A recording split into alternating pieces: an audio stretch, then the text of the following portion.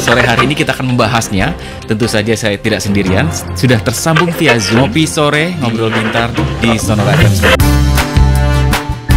Sonora FM 92 Jakarta, part of Kompas Gramedia Radio Network. Selamat sore sahabat Sonora. Ngopi sore kembali hadir, ngobrol penuh inspirasi bersama sosok-sosok inspiratif yang menghadirkan uh, materi-materi menarik yang mudah-mudahan bisa memberikan wawasan, insight, dan juga pengetahuan untuk Anda. Hari ini, 14 November 2024. Setiap tanggal 14 November seluruh dunia memperingati Hari Diabetes Sedunia, sahabat Sonora. Satu momen yang sebetulnya untuk eh, meningkatkan kesadaran kita akan diabetes yang mungkin uh, para pengidapnya ada di sekitar kita atau jangan-jangan juga adalah keluarga kita, tentu harus terus diingatkan kembali bagaimana mengelola diabetes ini, sahabat sonora. Dan yang paling penting juga adalah melakukan pencegahan dan mengurangi resiko diabetes. Ini spesial sekali karena tentu saja uh, untuk membahas topik hari ini saya tidak sendirian, ada dokter ahli yang sudah hadir bergabung bersama kita. Kalau kita bicara diabetes ini memang bukan hanya statistik dan angka tapi juga soal kehidupan sehari-hari jutaan orang di seluruh dunia, tidak hanya di Indonesia yang uh, menghadapi tantangan akan diabetes ini. Hari ini kita akan membahasnya dalam ngopi sore, penyebabnya, pencegahannya, dan update terkini dari penanganan diabetes ini seperti apa. Dan yang pasti untuk mengurangi resiko serta mendukung para pengidap diabetes. Kami sore hari ini kita sudah bersama dengan seorang ahli, Dr. Yohanes Purwanto, SPPD KEMD dari Mandaya Royal Hospital Puri, seorang dokter spesialis penyakit dalam yang berpengalaman dalam menangani pasien-pasien diabetes. Kita sapa beliau dengan panggilan akrabnya Dr. Johan. Selamat sore, Dr. Johan. Selamat sore Yudi, selamat sore sahabat Sonora. Uh, semoga sahabat Sonora selalu eh, sehat-sehat uh, dan um, merasa bahagia, sejahtera atau well-being. Hmm. Well-being, sehat, yes. sejahtera, bahagia dan well-being. Hmm. Ini topik menarik yang sudah disinggung oleh dokter di uh, hmm. sapaan pertama ini. Tapi yes. menarik, sahabat Sonora, Hari Diabetes Sedunia. Mungkin sebagai pembuka dok, boleh sahabat-sahabat Sonora kami juga dicerahkan apa sebetulnya uh, peringatan diabetes tahun ini terkait dengan tema dan sebetulnya kenapa harus dira dirayakan ya dok ya? Ada peringatan khusus Hari Diabetes Sedunia ini dok? Ya, terima kasih uh, Yudi dan sahabat Sonora. Hari Diabetes Sedunia itu dirayakan di seluruh dunia setiap tanggal 14 November. Dan uh, hari ini, uh, 14 November, kita merayakan Hari Diabetes Sedunia bukan untuk uh, sekedar celebrate atau merayakan yang mempunyai diabetes. Kita sebutnya people with diabetes atau orang-orang dengan diabetes. Uh, kalau dulu disebut penderita, kemudian belakangan disebut penyandang. Nah, itu istilah itu membuat suatu uh, konotasi yang agak kurang enak gitu bagi yang mempunyai diabetes sehingga sekarang istilahnya menjadi seseorang dengan diabetes atau people with diabetes. Jadi kita tidak menjudge, kita juga tidak menjudge itu menghukum, kita juga tidak uh, mendiskriminasi, tetapi kita menghargai teman-teman kita yang mempunyai diabetes atau saudara-saudara kita yang punya diabetes. Jadi pada hari diabetes ini dilakukan penyebaran informasi untuk meningkatkan awareness atau kesadaran dari semua pihak. Tidak hanya yang punya diabetes supaya lebih aware terhadap dirinya, terhadap uh, tantangannya, masa depannya juga, juga buat pasangannya, keluarganya, teman-temannya, lingkungan sosialnya, juga mungkin gurunya kalau lagi sekolah, mungkin atasannya kalau bekerja, juga di lingkungan yang lebih besar lagi di sosial uh, society atau masyarakat dan bahkan juga di stakeholders misalnya seperti regulator, seperti hmm. pemerintahan yang nantinya akan terkait semuanya dengan uh, namanya social determinants of health atau bagaimana eh, faktor-faktor uh, sosial itu bisa menentukan kesehatan kesehatan di dalam uh, level masyarakat atau society maupun di level personal. Nah, kita mengharapkan awareness kesadaran itu meningkat di semua bidang eh sorry di semua tingkatan dari masyarakat gitu Yudi hmm. dan uh, tema WDD atau World Diabetes Day tahun ini adalah diabetes and well-being. Well-being itu suatu yang agak abstrak gitu ya dan uh, uh, definisinya nggak semuanya sama. Hmm. Tapi kira-kira itu adalah bagaimana seseorang, misalnya Yudi gitu ya, hmm. merasa dan berfungsi di level personalnya, di level pribadinya, jadi perasaan diri sendiri, hmm. fungsi diri sendiri, dan juga di level sosial, bagaimana interaksi dengan sosial itu bisa berfungsi dan bisa punya perasaan yang positif gitu ya. Hmm. Sebagai dan merasakan dirinya sebagai pribadi yang utuh. Mungkin agak sedikit abstrak. Oke. Okay. Hmm. Hmm. Nih, ada tiga aspek dari well-being atau bahasa Indonesia-nya sejahtera ya, Yudi ya. Yeah. Sejahtera, tapi ini sejahtera bukan sejahtera dalam arti sejahtera keuangan saja ya, hmm. tapi juga sejahtera dalam artian satu fisik, kedua mental atau psikologis, dan ketiga sosial. Hmm. Nah, kalau secara fisik mungkin teman-teman sudah sudah tahu fisik artinya nggak sakit, hmm. nggak demam, nggak lemes, bisa bekerja dengan baik dari pagi sampai sore, tetap uh, misalnya bekerja gitu. Kalau sekolah dari pagi sampai siang bisa sekolah dengan baik, tidak ada hambatan, itu fisik. Kalau mental itu adalah bagaimana emosinya, bagaimana pikirannya dan uh, hubungannya nanti dengan dengan uh, lingkungan. Kemudian faktor sosial ya, as, uh, aspek sosial. Jadi aspek sosial ini lebih luas lagi bahkan dari hanya fisik, kemudian mental atau psikologis juga hmm. sosial. Jadi tiga aspek tuh hmm. dari seseorang diabetes. Jadi kita melihat seseorang dengan diabetes tidak hanya masalah gula darah, tidak hanya melihat masalah jantung, tidak hanya melihat masalah stroke-nya atau komplikasi yang lain yang ada di fisiknya, tetapi lebih daripada itu. Tapi memang uh, kita mesti tahu bahwa uh, well-being itu buat seseorang yang mempunyai masalah kronis seperti hmm. penyakit diabetes gitu, hmm. itu adalah sesuatu yang uh, penting hmm. karena dia mempengaruhi uh, bolak-balik tuh Hmm. Kalau seandainya, uh, maksud saya yang aspek uh, mental dan aspek sosial itu mempengaruhi diabetesnya hmm. dan sebaliknya juga mempengaruhi uh, aspek uh, diabetesnya mempengaruhi aspek mental dan sosialnya. Hmm. Contoh ya, misalnya dalam aspek mental. Penelitian-penelitian membuktikan bahwa kalau seseorang dengan diabetes itu secara psikologis dia mempunyai kondisi yang namanya distress. Hmm distress, diabetes distress. Kenapa kok seseorang bisa diabetes distress? Itu karena adanya uh, beberapa hal, yaitu burden atau beban hmm. secara fisik. Misalnya gulanya tinggi dia lemas, gulanya rendah bisa pingsan. Ya, ya. Kemudian uh, timbul komplikasi jangka pendek, jangka panjang Misalnya komplikasi tadi stroke, biotak, demensia, komplikasi mata, jantung, ginjal. Pada pria bisa terjadi disfungsi ereksi, hmm. kaki bisa uh, terjadi uh, infeksi atau bahkan sampai amputasi. Hmm. Dan itu badan-badan fisik itu nanti bisa semakin lama semakin bertambah karena hmm. diabetes itu terkenal karena komplikasinya. Nggak hanya masalah gula darah, tapi juga komplikasi. Kemudian uh, semakin bertambah usia, itu penyakit diabetes itu sering kali bersifat progresif. Artinya kalau tahun ini diabetesnya hanya bisa, hanya cukup ditangani dengan diet pola makan yang sehat dan hmm. olahraga. Hmm. Mungkin lima tahun lagi nggak cukup, mungkin perlu obat. Hmm. Mungkin 10 tahun lagi obatnya nggak berfungsi lagi, jadi harus hmm. ditambah dua macam. Hmm. Mungkin 15 tahun lagi hmm. itu bukan hanya obat, tetapi harus kombinasi dengan injeksi insulin. Okay. Nah itu namanya progresif. Jadi burden fisik itu tidak hanya soal gula darah naik turun, tetapi juga komplikasi juga uh, ber, bertambahnya uh, progres daripada penyakit. Selain itu juga ada uh, yang tadi kita sebut-sebut itu aspek mental. Hmm. Jadi ada beban mental atau psikologis yang uh, membebani. Jadi bukan hanya masalah gula darah, tekanan darah dan komplikasi, tetapi juga masalah emosional.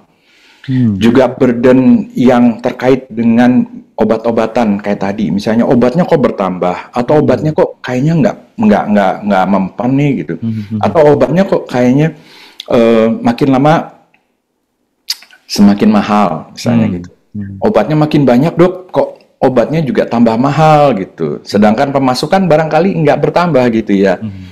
Barangkali gitu ya. Secara wealth being-nya belum tentu bertambah, tapi obat-obatannya kok nambah lagi, nambah lagi. Hmm. Kemudian juga physician related atau uh, terkait dengan tenaga kesehatan atau dokternya. Kadang-kadang uh, dokter tidak tidak tidak memberikan uh, kesempatan buat pasien untuk jadi uh, lebih tahu tentang penyakit atau tentang tubuhnya karena hmm. dokternya pasiennya banyak sekali jadi hmm. nggak hmm. sempat menerangkan satu persatu ya hmm. itu tentu bisa dimaklumi ya karena uh, memang nanti harus harus dibahas bagaimana cara menangani hal tersebut ya dengan misalnya menggunakan media sosial atau menggunakan hmm. alat bantu edukasi dan lain-lain nah itu kadang-kadang juga dokter menerangkan maksudnya baik, tetapi hmm. menjadi beban buat pasiennya karena misalnya dokter bilang terus terang nih, hmm. uh, Pak Yudi misalkan gitu ya, hmm. ini uh, kayaknya kalau gula darahnya tetap tinggi begini, ini bisa terjadi misalnya harus uh, operasi misalnya gitu. Hmm. Nah itu jadi beban gitu, hmm. jadi beban buat buat seseorang dengan diabetes tadi, dan itu tentu jadi nggak enak gitu, jadi beban pikiran istilahnya hmm. orang gitu ya. Hmm. Tapi itu sebenarnya burden secara psikologis. Hmm. Atau misalnya uh, tidak tidak puas terhadap dokter atau seperti nggak percaya sama dokter lama-lama. Kok tahun ini saya pergi ke dokter A, dokter A bilang ini obatnya begini, dia. Ya. Tapi kok gulanya nggak turun? Pergi ke dokter B, dokter B bilang, oke okay, obatnya ditambah, obatnya dua macam. Hmm, hmm, hmm. Tapi kok nggak terkendali juga gitu misalnya. Terus akhirnya pergi ke tiga dokter, akhirnya lama-lama nggak percaya lagi sama dokter misalnya. Dan itu berbahaya tentu ya, karena uh, uh, hal untuk penyakit kronis sebaiknya teman-teman sahabat sonora itu konsultasi dengan uh, rutin Betul. teratur kepada dokter. Baik. Kemudian juga ada aspek dari physician related itu adalah bagaimana motivasi itu terbangun atau tidak. Kalau seandainya seseorang udah dikasih tahu Pak Yudi diabetes nih gitu, olahraga ya dan berhenti merokok gitu. Hmm. Udah dikasih tahu, tapi itu kan baru level informasi atau edukasi. Hmm. Tapi mungkin belum termotivasi gitu. Hmm. Sehingga karena belum termotivasi nggak berhenti merokoknya. Minum obat diabetes iya, tapi nggak berhenti ini, nggak berhenti merokok, Loh, tahun depan kok stroke juga. Hmm. Ah nanti nyalain dokternya, eh dokter udah udah minum obat mahal-mahal kok masih stroke juga gitu loh. Hmm. Ternyata misalnya masih merokok atau masih nggak bisa nggak mau uh, olahraga dan pola makannya dijaga gitu, sehingga gulanya tetap tinggi. Nah itu masalah-masalah dengan dengan uh, uh, dokter, kemudian juga interpersonal uh, distress. Jadi karena ada diabetes itu mempengaruhi uh, hubungan satu sama lain. Hmm. Ya, ya misalnya hubungan dengan uh, pasangan, hubungan dengan keluarga, hubungan dengan orang tua atau hubungan dengan anak sebaliknya dan seterusnya. Hmm. Itu suatu hal yang kompleks dan kita bisa jelaskan banyak ya tentang interpersonal tersebut. Hmm. Kemudian yang ketiga ada burden cost yang tadi udah hmm. sempat disinggung tuh. harga obat, hmm, harga obat makin lama makin mahal harga obatnya makin mahal dan dan sebetulnya biaya atau burden cost itu uh, tidak hanya masalah uh, yang yang biaya yang terlihat terkait dengan kesehatan ya health related cost itu jelas misalnya obat makin lama obat makin mahal hmm. apalagi ya kita tahu biaya import dan lain-lain hmm. kemudian juga biaya lab harus periksa hmm. darah kata dokter sebulan sekali atau tiga bulan dan seterusnya Kemudian juga uh, harus ada misalnya prosedur-prosedur tertentu. Kalau seandainya perlu kateterisasi, hmm. kalau misalnya perlu ada konsultasi, nggak hanya cukup satu dokter, juga periksa dokter mata, periksa dokter jantung, periksa hmm. dokter ginjal dan seterusnya. Misalnya ya kalau perlu. Dan itu health related langsung yang direct uh, berhubungan dengan dengan kesehatan. Tapi juga ada biaya tidak langsung. Hmm. Misalnya mestinya bekerja jadi cuti. Mestinya naik pangkat jadi nggak bisa naik pangkat hmm. karena misalnya nggak lulus uji kesehatan hmm. dan lain-lain opportunity loss uh, kehilangan kesempatan yang yang ini atau misalnya um, mestinya uh, anaknya bisa pergi kuliah tapi jadi harus mengantar orang tuanya ke dokter atau hmm. menemani di rumah sakit. Nah, itu juga hal-hal yang membebani dan itu menjadikan suatu uh, diabetes distress. Hmm. Dan itu adalah suatu aspek penting daripada uh, seseorang dengan diabetes yang sering kali dilupakan ya. Betul, betul, sering betul dok. Dan uh, dampaknya itu sangat luas dan multidimensional ya dok. Ada fisik, mental, dan sosial. Tapi kalau saya boleh nambahin, izin dok satu hmm. lagi iya, finansial ya, ya dok ya. Sehat ya, ya betul. Jadi pengaruhnya ke duit ya, ke finansial ini luar biasa.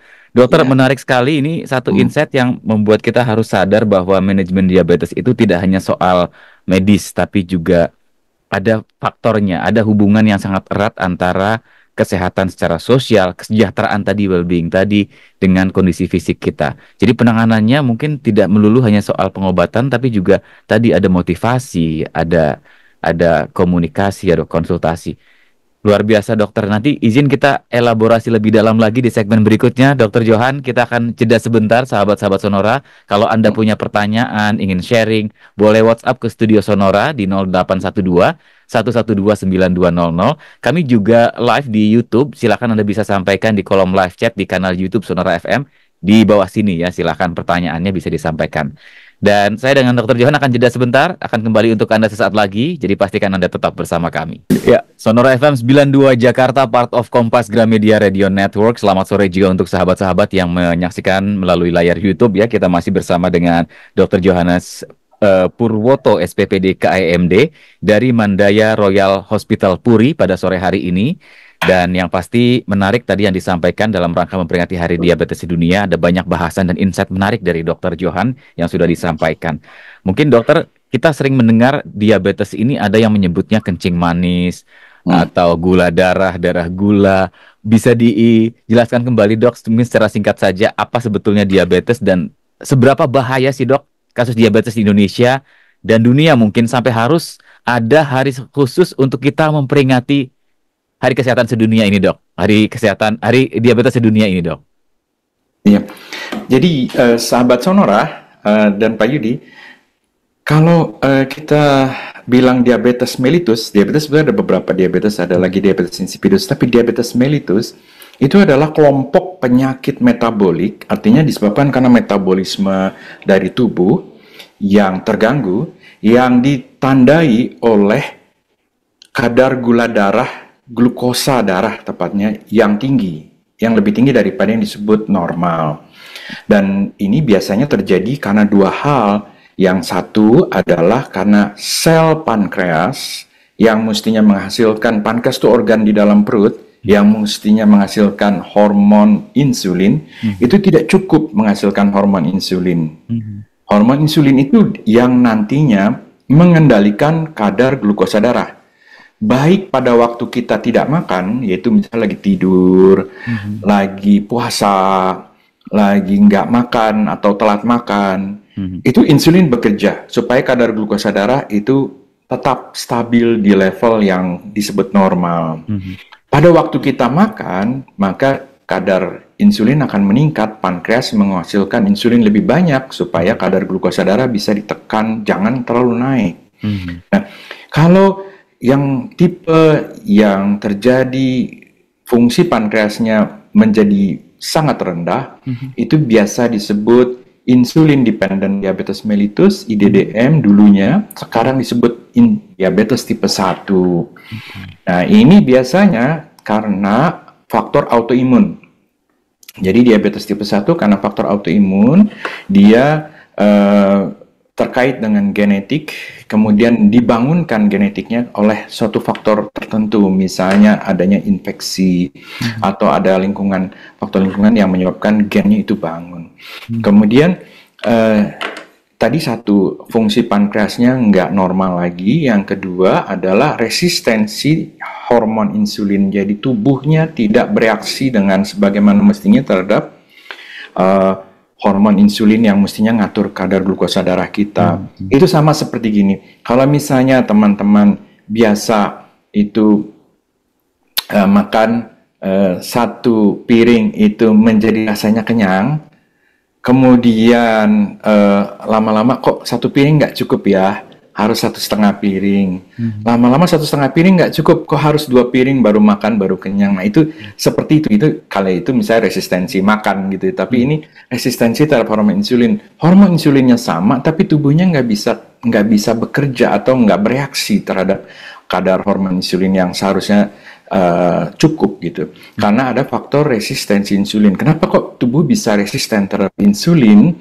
Karena ada biasanya nih karena ada faktor kelebihan lemak di dalam tubuh biasanya tapi nggak nggak selalu tapi biasanya karena faktor lemak di dalam tubuh yang berlebihan menyebabkan terjadinya gangguan kerja insulin atau fungsi insulin jadi pankreasnya baik-baik tadi, tadinya baik-baik hmm. tetapi karena kerja dari hormonnya nggak baik lama-lama pankreasnya juga jadi kena atau terganggu juga. Nah, ini yang biasanya disebut uh, non-insulin dependent diabetes mellitus zaman dulu, sekarang disebutnya diabetes mellitus tipe 2. Hmm. Ada lagi diabetes yang lain, tapi pada umumnya 90 persen kira-kira ya 80 sampai 90 persen di negara kita mungkin sekitar 90 persen itu adalah diabetes mellitus tipe 2. Hmm.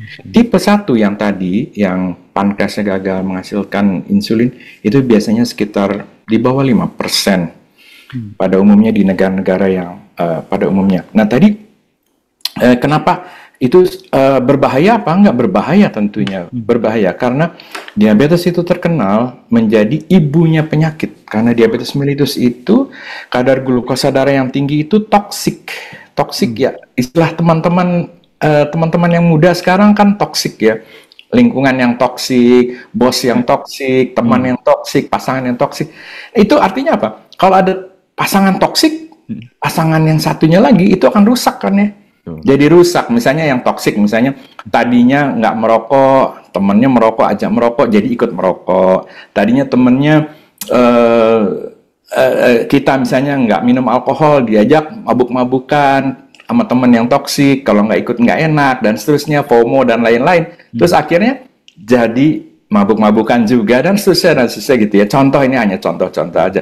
Tapi kira-kira begitu, kadar gula darah tinggi itu merembet bersifat toksik dia merembet meracuni organ-organ tubuh dan itu di seluruh tubuh makanya komplikasi yang ditakutkan itu komplikasi fisik ya mm-hmm.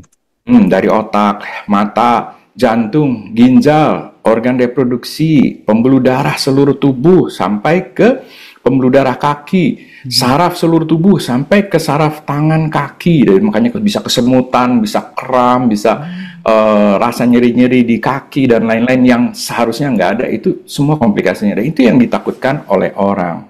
Tetapi sebetulnya bukan cuma itu. Ada kita kan kenal istilah life expectation ya. Life hmm. expectation atau harapan hidup. Harapan hidup. Eh, kira-kira misalnya harapan hidup orang Indonesia 70 tahun. Hmm. Misalnya nih, ini hanya misalkan ya, 70 tahun. Kita ambil uh, sekarang ada dua contoh nih. Ini ini ini nanti related terhadap uh, apa yang fenomena yang terjadi di masa sekarang ini. Yaitu uh, karena misalkan babe sama anak nih, babe hmm. sama anak ya, dua ya teman-teman uh, sahabat Sonora ya. Si babe ini kena diabetes di usia 50 tahun Yeah. Sebelum 50 tahun dia sehat. Mm-hmm. Ini kita sebut time spent in health. Mm. Umur yang dia dia lalui dengan sehat. Itu 50 tahun berarti kan ya. Mm-hmm. Dari 50 tahun usia harapan hidupnya 70 tahun. Berarti dia sakit diabetesnya selama 20 mm-hmm. tahun. Tapi karena uh, diabetes itu meningkatkan risiko penyakit komplikasi tadi dan juga menurunkan usia harapan hidup karena dia terjadi komplikasi, jadi istilahnya lebih cepat organ tubuhnya uh, rusak, lebih cepat uh, berisiko untuk uh, terjadi kematian karena kardiovaskular, misalnya kematian karena serangan jantung, kematian karena gagal jantung, kematian karena stroke dan lain-lain, ya. termasuk ginjal misalnya. Nah itu menyebabkan misalnya harapan hidupnya kan 20 tahun lagi ya, 50 tahun kena diabetes sampai 70 tahun kan kira-kira segitu ya teman-teman ya. Nah, lalu berkuranglah misalnya jadi 15 tahun nih. 15 tahun ini adalah uh, namanya time spent with diabetes atau hmm. lamanya hidup uh, dengan diabetes. Nah, 15 tahun, apa yang terjadi dengan 15 tahun? Nah, itu yang tadi kita sudah singgung. Ada burden fisik, ada burden psikologis, ada burden sosial, ada burden cost, dan lain-lain gitu ya. Nah, itu yang mempengaruhi banyak faktor gitu.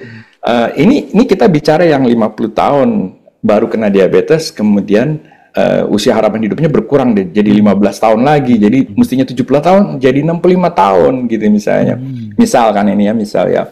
Nah, Jangan lupa itu tadi yang Pak Yudi udah singgung masalah kos.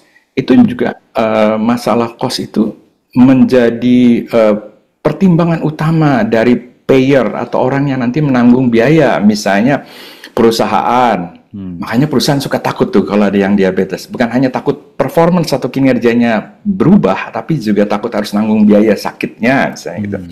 Kemudian asuransi. Hmm Kemudian juga yang lebih besar lagi, misalnya uh, perusahaan negara atau bukan perusahaan, misalnya negara gitu misalnya. Hmm. Tentu kalau seandainya kos biaya besar dan yang diabetes banyak, tentu itu akan besar pengeluaran negara untuk itu.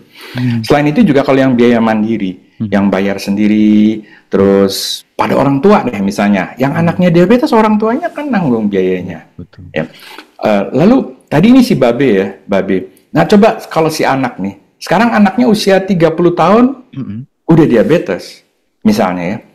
Kalau usia 30 tahun udah diabetes, maka dia akan mengalami time spend with diabetesnya itu 40 tahun.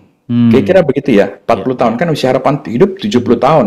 Jadi 30 tahun sampai 70 tahun itu 40 tahun. Hmm. Nah, 40 tahun yang terjadi adalah tadi harapan hidupnya akan lebih mudah berkurang Hmm. Walaupun kita tentu tahu ya secara orang beragama uh, umur di tangan Tuhan gitu ya. Tetapi secara statistik dan penelitian-penelitian menunjukkan bahwa risiko kardiovaskular death atau kematian kardiovaskular itu meningkat. Jadi hmm. Harapan hidupnya berkurang. Misalnya mestinya sampai 70 tahun jadi mungkin 55 tahun. Sedangkan si ayah sampai 65 tahun.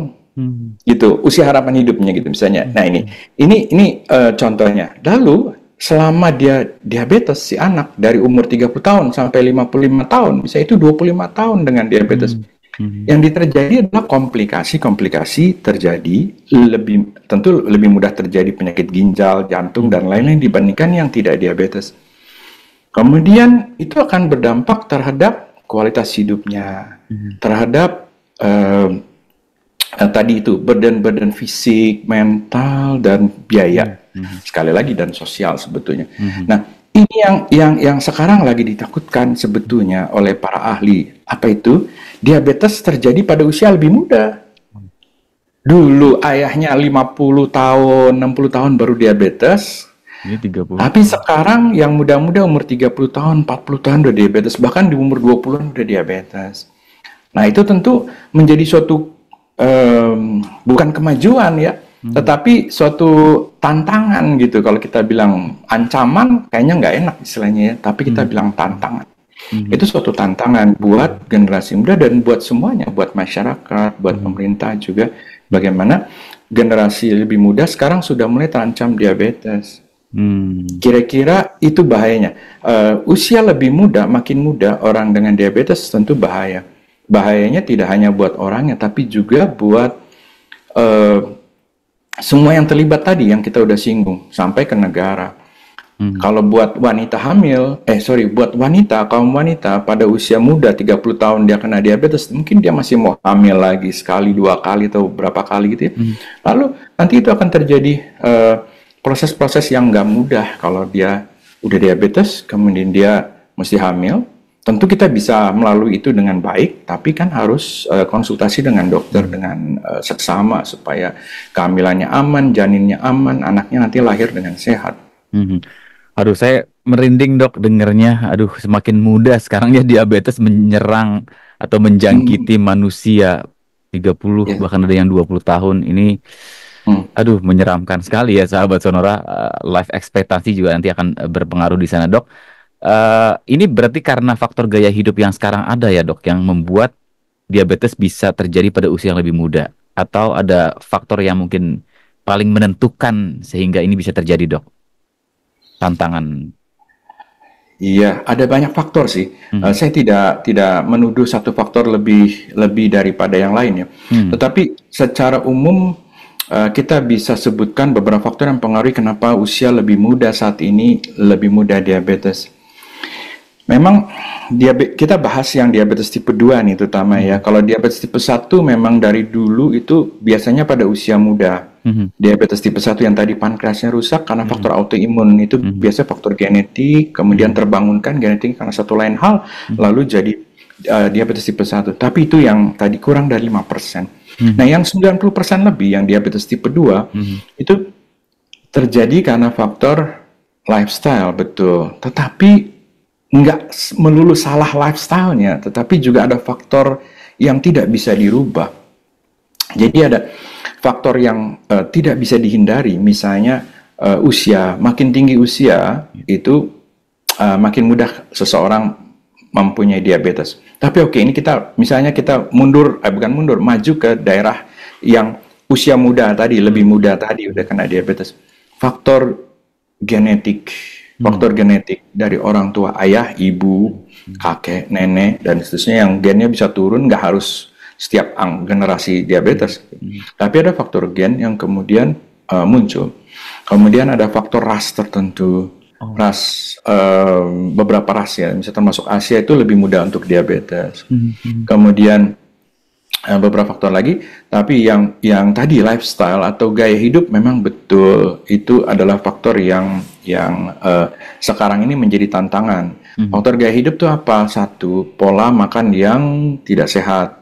Hmm. Ya, saya tidak menuduh makanan tertentu deh ya, hmm. uh, tetapi pola makan yang nggak sehat teman-teman udah tahu sebetulnya, sahabat-sahabat Sonora udah tahu nih pola makan yang nggak sehat seperti apa, misalnya tinggi kalori, tinggi karbohidrat, uh, jarang uh, sayuran atau sedikit sayuran, sedikit uh, serat, kemudian aktivitas fisik yang kurang, sepanjang hari di depan komputer atau tidak atau tidak rutin berolahraga atau bahkan nggak olahraga sama sekali, uh, kemudian terjadi penumpukan lemak yang kita sebut obesitas, mm -hmm. obesitas atau penumpukan lemak. Nah itu atau berat badan berlebih hingga kegemukan gitu ya. -hmm. Nah itu uh, adalah uh, faktor risiko yang besar. Kenapa bisa terjadi hal yang sebetulnya sebetulnya bisa dicegah? Sebetulnya bisa dicegah pada sebagian ya, tidak hmm. semua bisa dicegah, tapi pada sebagian bisa dicegah untuk berkembang jadi diabetes. Hmm. Karena ada saat ini zaman modern, hmm. makin berkembang, hmm. ada yang namanya kemudahan-kemudahan ya kemudahan-kemudahan gitu ya. Hmm. Kan kalau kita berdoa kita mohon dimudahkan, kita mohon kemudahan gitu ya. Tapi dijauhkan dari penyakit begitu ya, sahabat yeah, saudara ya. Betul. Nah, kemudahan-kemudahan dalam kehidupan kita itu bersifat positif tapi juga ada aspek-aspek yang kita mesti waspadai. Misalnya kemudahan transportasi. Hmm. Orang kalau mau pergi ke mana-mana udah hampir pasti udah gampang. Dulu mesti naik sepeda masih ngayuh. Hmm. Atau jalan kaki misalnya, hmm. yang rumahnya jauh masih jalan kaki. Kalau sekarang semua udah naik uh, motor atau naik mobil hmm. atau pakai yang online-online ya hmm. atau taksi gitu misalnya udah gampang. Nah, kalau uh, yang lain misalnya kemudahan teknologi dulu untuk menyalakan apa lampu dan sejenisnya itu kita mesti pergi ke ruangan belakang tuh nyalain genset ya. Kalau kalau yang pernah ya ng ngerasain gitu ya. Kalau saya pernah ngerasain karena dulu pernah jadi dokter itu ya, sahabat hmm. Sonora itu ngalamin di daerah hmm. pelosok hmm. Itu kita sebagai dokter uh, uh, praktek uh, pertama itu kita harus ke daerahan zaman dulu itu kita ngerasain sendiri mau nyalain lampu itu harus kita nyalain gensetnya dulu dan seterusnya. Kalau sekarang Bagaimana caranya nyalain lampu? Dari jauh udah bisa tuh pakai smart home namanya gitu. Smart home bukan lagi pakai uh, remote, udah pakai HP. Semua udah sangat mudah dengan teknologi. Lalu ketersediaan pangan juga. Hmm. Ketersediaan pangan dulu kalau seandainya kita mau beli makanan misalnya habis olahraga kita mau makan yang apa gitu kita mesti pergi dulu ke pasar atau ke warung beli makanan gitu ya terus kita masak di rumah kalau sekarang kan kita tinggal hmm. pencet dengan jari makanan itu datang gitu udah jadi udah udah dimasak oleh restoran atau apa gitu diantar oleh online gitu ya hmm. uh, online uh, ojek atau apa gitu dan tinggal makan gitu hmm. dengan mudahnya gitu tidak ada usaha lagi tidak perlu memasak tidak perlu ke dapur tidak perlu jalan diantar sampai ke depan pintu hmm. kita hmm. itu ke, itu kemudahan lalu faktor yang lain adalah uh, sosial sosial sosial environment jadi pengaruh-pengaruh yang yang baik atau pengaruh-pengaruh yang kurang sehat ya misalnya uh, pola merokok pola uh, hidup yang yang uh, yang tidak begitu aktif gitu itu dipengaruhi juga oleh lingkungan hmm. kalau seandainya Pak Yudi teman-temannya adalah uh, pemain bola gitu misalnya mungkin pasti diajak main bola gitu ya. Uh, tapi kalau teman-teman yang nggak suka olahraga mungkin juga uh, jarang olahraga gitu. Hmm. Itu adalah di antara beberapa faktor ya Pak Yudi yang yang membuat uh, usia makin muda, makin saat ini uh, di zaman sekarang muda. Hmm. Baik, kita nanti akan bahas lagi. Kita masih punya satu sesi lagi, Dokter Johan. Mm -hmm. uh, di ending yeah. mungkin kita perlu remind juga nih apa-apa mm. saja yang perlu dilakukan ya untuk kita semua sahabat sonora agar bisa terhindar dan bisa mengurangi resiko dari diabetes ini terjadi pada kita sendiri ataupun orang-orang yang ada di sekitar kita ya. Tetap bersama kami di Ngopi Sore hanya di FM 92 Sonora Jakarta masih bersama dengan Dr. Johannes Purwoto SPPD KMD dari Mandaya Royal Hospital Puri.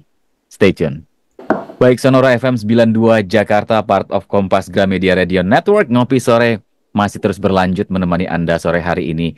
Banyak hal yang sudah di-sharingkan oleh eh, Dr. Johan pada sore hari ini. Ternyata dari diabetes saja itu ujungnya bisa ke mana-mana ya. Bisa menimbulkan beban yang tidak hanya beban fisik, tapi juga beban mental, bahkan sampai beban sosial, sahabat Sonora. Dan tentu kita juga harus paham, uh, apalagi mungkin orang-orang yang punya resiko tadi disampaikan ada faktor genetik. Apa yang bisa kita lakukan untuk bisa mengetahui sedini mungkin apakah kita atau orang-orang sekitar kita terkena diabetes. Nah, bagaimana diagnosanya? Kemudian setelah didiagnosa, bagaimana proses pengobatannya? Ini juga mungkin perlu kita pahami bersama, sahabat Sonora. Dan tentu saja ini tidak bisa kita lakukan sendiri, tapi tentu saja dilakukan oleh Eh, dokter-dokter uh, ahli yang uh, spesifik ya tentang masalah diabetes ini. Dokter Johan, kalau kita bicara diagnosa, uh, apa saja dok step-step atau langkah-langkah yang dibutuhkan untuk kita memastikan bahwa kita sehat bebas dari diabetes. Kemudian kalau dari yang sudah terdeteksi, kemudian pengobatannya akan seperti apa dok? Ya, uh, Pak Yudi dan sahabat Sonora, dulu itu kita periksakan seseorang untuk kecurigaan ke arah diabetes dengan periksa urin, periksa darah pada orang-orang yang kelihatan ada gejala. Misalnya gejala yang diabetes yang klasik itu adalah sering uh, buang air kecil, sering hmm. kencing malam, kemudian sering haus, minumnya jadi rasanya haus, minumnya banyak, kemudian sering lapar, uh, frekuensi dan jumlah makannya lebih banyak. Tetapi sebaliknya berat badannya turun Hmm. Itu adalah gejala khas daripada diabetes. Tapi hmm. ternyata sekarang kalau seseorang sudah mempunyai gejala tersebut, berarti dia udah parah. Oh. Diabetesnya udah parah. Nah, jadi sekarang ini kita pendekatannya jangan nunggu gejalanya muncul baru hmm. periksa gula darah. Kalau itu sih udah pasti udah udah advance uh, diabetesnya. Mungkin bahkan udah mengalami komplikasi karena penelitiannya pada orang-orang yang terdiagnosis diabetes pertama kali baru tahu hmm. itu sebagian itu sudah mengalami komplikasi. Jadi yang tadi ditakutin misalnya ada komplikasi pembuluh darah tersumbat, jantungnya udah ada masalah, mata ada masalah dan lain-lain. Itu kalau udah ada udah udah terdiagnosis sebagian udah mengalami masa tersebut. Jadi ada masa yang kita kehilangan kesempatan untuk mencegah komplikasi penyakit dari diabetes untuk membuat seseorang sehat dari awal. Hmm. Nah, uh, jadi kita nggak berangkat dari gejala dulu, baru kita periksakan ke dokter. Hmm. Teman-teman, uh, sahabat-sahabat Sonora, tentu jadi pengen tahu kalau gitu kapan kita mesti periksa ke dokter, kapan kita mesti periksa misalnya kalau gula darah atau glukosa darah itu memang ambil darah ya. Mm-hmm. Jadi kita belum belum bisa uh, pakai kayak termometer tuh ditempel di kening gitu ya. Kemudian bisa oh ini suhunya sekian. Kalau gula darah itu masih mesti periksa gula di glukosa di dalam darah bisa di darah dari vena yang diambil darah dengan jarum atau di kapiler yang pakai lancet atau jarum yang kecil gitu. Nah itu uh, memang kita harus ambil darah. Kapan kita harus periksa itu adalah pada yang berisiko tinggi tadi sudah disebutkan. Hmm. Yang berisiko tinggi yang lain adalah misalnya eh, orang-orang yang kegemukan, berat hmm. badannya naik, apalagi berat badannya naik dengan cepat, atau yang nggak mau turun walaupun sudah diet gitu mm-hmm. atau yang punya riwayat kalau lagi kalau wanita nih riwayat kalau hamil mm-hmm. bayinya gede waktu melahirkan tuh bayinya gede 4 kg atau lebih mm-hmm. atau kalau waktu hamil gulanya naik sehingga dokternya bilang ini kayaknya gula ibu naik gitu namanya diabetes gestasional tapi setelah melahirkan kembali pulih nah mm-hmm. itu menjadi faktor risiko untuk diabetes di masa depan mm-hmm. atau yang mempunyai keluarga yang riwayat keluarga diabetes. Mm -hmm. Riwayat keluarga diabetes itu uh, bisa diabetes tipe 1 maupun tipe 2 itu menjadikan seseorang um, berisiko agak mm. lebih tinggi dibandingkan masyarakat untuk mengalami diabetes. Jadi harus di ha, harus diperhatikan untuk uh, periksa gula darah. Kalau kalau ragu-ragu datanglah ke dokter, hmm. tanya ini udah waktunya belum untuk periksa glukosa darah. Hmm. Uh, dan juga beberapa uh, keluhan yang tadi udah disebutkan. Hmm. Atau adanya penyakit, misalnya uh, seseorang kok tuberkulosis gitu ya, paru-parunya ada TBC misalnya gitu. Itu sering terjadi pada orang dengan diabetes. Atau ada infeksi jamur di dalam tubuhnya atau hmm. uh, ada penyakit-penyakit uh, yang lain, misalnya ada penyakit jantung hmm. karena ke, uh, ketemu penyakit jantung, maka ke, baru ketahuan bahwa sebetulnya udah diabetes sudah lama. Atau hmm. ketemu penyakit ginjal. Hmm. Setelah ketemu penyakit ginjal, ternyata diabetesnya sudah lama hmm. ya, sehingga menyebabkan penyakit eh, jantung dan ginjal tersebut. Ingat bahwa gejala diabetes tadi uh, kalau udah ketemu berarti dia udah lanjut, hmm. jangan nunggu sampai lanjut atau udah berat gitu. Dan uh, walaupun gejala nggak muncul, tapi kalau gula darah udah tinggi, hmm Ini ini salah satu uh, fenomena dari diabetes ya. Jadi mm walaupun glukosa darahnya itu uh, kelihatannya belum tinggi banget, tetapi uh, sudah sudah masuk kriteria diabetes, uh, maka komplikasi daripada organ tubuh utama seperti otak, mata, jantung, hmm. ginjal dan lain-lain itu sudah mulai terjadi pada waktu gula darah kita udah mulai beranjak naik dari yang disebut normal. Hmm. Nah itu uh, sebabnya kita nggak nunggu gejala lagi ya sekarang buat hmm. sahabat sonora kalau ada faktor risiko seperti tadi udah kita singgung beberapa periksakan uh, glukosa darah, konsultasi dengan dokter uh, dan dan uh, jangan jangan khawatir atau malah uh, beberapa uh, sahabat kita itu justru takut untuk diperiksa hmm. darah karena takut kalau ketahuan diabetes asal hmm. tahu penata laksananya nah nanti kita beranjak ya di sini ya ke hmm. penata laksananya ya hmm. Asal tahu penata laksananya sebetulnya sebagian daripada sebagian besar daripada diabetes itu kita bisa cegah komplikasinya hmm. kita bisa hambat cegah dan menghambat komplikasi daripada diabetes tersebut. Hmm. Dan kita nanti bisa bersama-sama mengatasi faktor-faktor yang nggak enak tadi, yang yang mengganggu well-being seseorang yeah. dengan diabetes, yang membuat beban fisik, beban mental, dan beban sosial kita bisa diskusikan bersama dengan dokter. Hmm. Nah sekarang pengobatannya ya, uh, tadi ter, udah disinggung pengobatan. Pengobatannya nomor satu pada orang dengan diabetes adalah pola hidup yang sehat, hmm. seperti pola makan yang sehat. Hmm. Seperti apa ya makan yang sehat ya? Nanti teman-teman bisa uh, lihat ini. Saya punya uh, Instagram dan YouTube namanya Lentera Diabetes. Silahkan yeah. nanti dicek. Hmm. Nanti dicek di situ uh, pola makan yang sehat.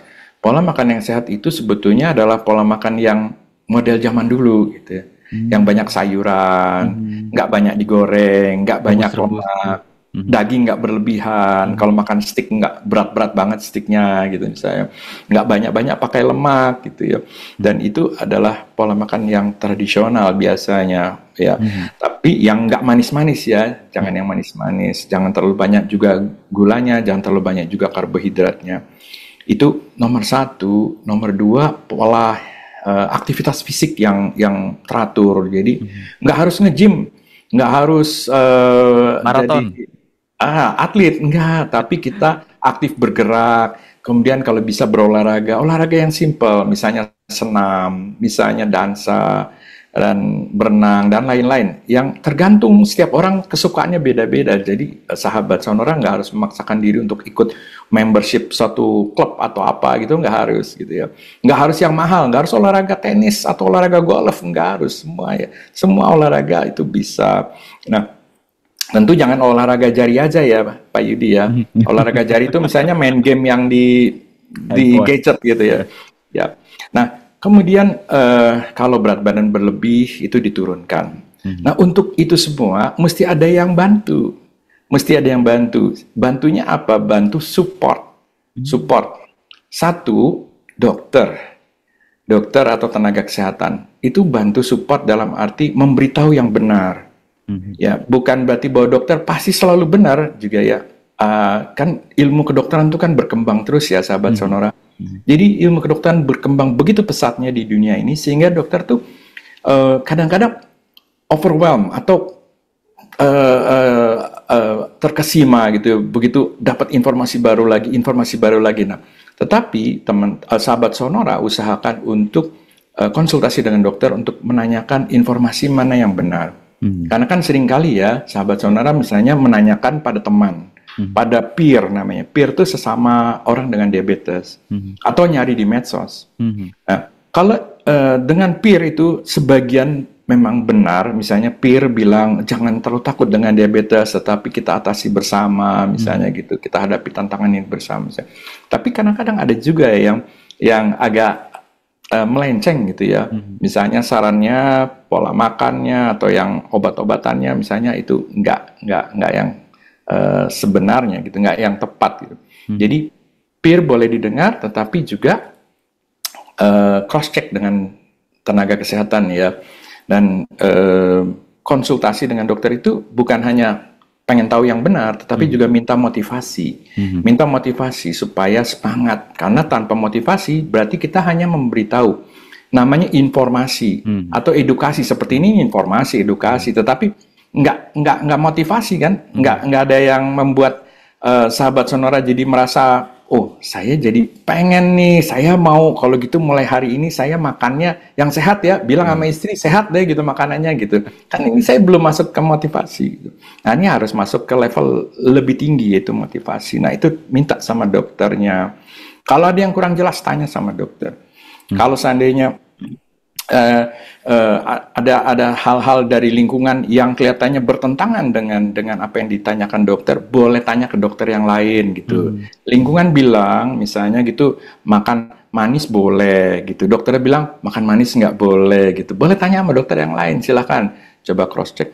Hmm. Nah itu uh, pengobatan diabetes jadi sebetulnya nggak pada awalnya nggak rumit-rumit sekali gitu. Hmm. Hmm. Tetapi kalau yang di fase awal ini ketinggalan kereta, mm-hmm. nggak terdiagnosis dengan baik, yeah. atau delayed, delayed itu artinya gini, misalnya, misal ya, Pak Yudi udah tahu diabetes, tetapi abai, atau mm. ada istilahnya denial, mm. denial itu ah nggak ya. apa-apa, gula Terima. masih 200, masih 300, tahun depan masih 350, tapi kan saya masih sehat, katanya gitu, masih bisa bekerja gitu, dan seterusnya. Nah, kalau seandainya ada fase-fase seperti itu, jangan lama-lama. Fase denial jangan lama-lama, kemudian fase delay jangan lama-lama. Karena makin di delay, maka tadi itu komplikasi organ makin banyak, makin nyebar dia uh, komplikasinya. Jadi kita hindari. Makin telat uh, pengobatan, maka makin besar masalahnya. Nanti komplikasinya, tadi faktor uh, usia harapan hidup dan lain-lain. Nah itu kita tangani dari awal, yeah. sahabat saudara, dari awal dan kalau diperlukan obat, ya obatnya dikonsumsi dengan baik, dengan teratur. Karena nggak obat diabetes itu butuh pertama dikonsumsi dengan teratur dan baik. Mm-hmm. Kalau dibilang dokter pagi ya pagi, kalau siang-siang malam-malam. Kalau seandainya insulin kalau memang dibutuhkan pada kondisi tertentu ya dikonsumsi dengan baik. Kalau ada keraguan misalnya apakah insulinnya itu aman, apakah obatnya aman? Tanya sama dokternya. Nanti dokter akan menerangkan. Mm-hmm. Ya, mana yang lebih aman? Uh, konsumsi obat atau insulin atau membiarkan gula darah tinggi tidak terkendali hmm. sehingga komplikasi yang jelas-jelas tadi udah diterangkan itu terjadi gitu. Hmm. Pembiaran itu akan membuat uh, sahabat sonora kehilangan waktu. Yeah. Yang tadi ingat deh, kehilangan waktu yang tadi saya jelasin, time spent in health, time spent in uh, sickness itu akan kehilangan waktu. Betul. Dan itu nanti brem, brembet ke kemudian hari. Yeah. Jadi dari awal dini, mm-hmm. kemudian segera uh, tata laksana. Kalau perlu obat, diikuti. Mudah-mudahan di awal itu hanya perlu tadi pola makan sehat, olahraga teratur atau aktivitas fisik yang teratur. Mudah-mudahan begitu. Nah, Siap. kalau saya uh, boleh pesan ya yang terakhir adalah seperti uh, pepatah ini bukan pepatah peribahasa dari kita kayaknya nih saya dapat dari luar. Hmm. Itu kalau teman-teman menunggu suatu dinding di rumahnya, menunggu dinding di rumahnya retak-retak baru ditambal, ditambal-tambal sehingga kelihatannya masih utuh, tapi sebetulnya dindingnya udah retak-retak. Mm-hmm.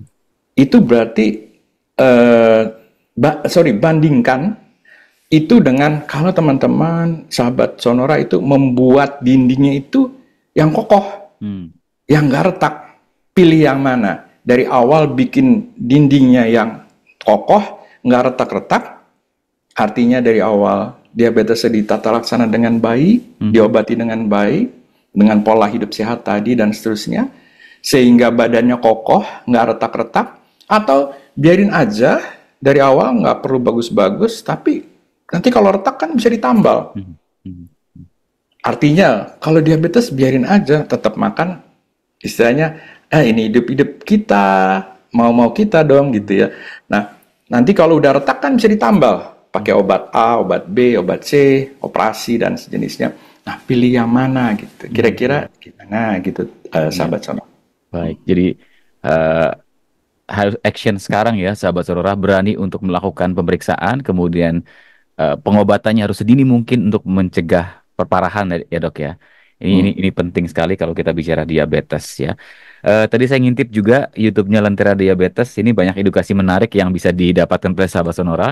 Dan untuk sahabat-sahabat Sonora untuk mengetahui jadwal atau perjanjian dengan Dokter Johan, ini bisa ke mandayahospitalgroup.com. Dokter Johan, terima kasih banyak waktu dan ilmunya yang sudah dibagikan untuk sahabat-sahabat Sonora di sore hari ini dan ini luar biasa sekali relate dengan Hari Diabetes di Dunia yang kita peringati. Mudah-mudahan ini meningkatkan awareness kita akan bahaya diabetes yang mengintai kita dan keluarga kita saat ini ya dok ya. ya. Baik, Dokter, hmm. terima kasih banyak. Mudah-mudahan lain waktu kita terima bisa. Terima kasih juga Pak Yudi dan hmm. sahabat Sonara. Terima kasih. Terima kasih banyak dokter. Nanti kita mudah-mudahan lain waktu bisa berdiskusi lagi dengan topik-topik menarik ya. Topik motivasi tadi menarik dok. Hmm. Untuk memberikan motivasi sahabat-sahabat. Ya, ngopi sore edisi hari ini bersama dengan Dr. Johannes Purwoto, SPPD KMD dari Mandaya Royal Hospital Puri. Uh, sudah Anda bisa saksikan videonya akan tersimpan di YouTube, kemudian Anda bisa share ke siapa pun yang membutuhkan. Kita ketemu lagi di Ngopi Sore edisi berikutnya. Saya Yudi Samadi pamit undur diri. Tetap bersama kami di FM 92 Sonora Jakarta, part of Kompas Gramedia Radio Network.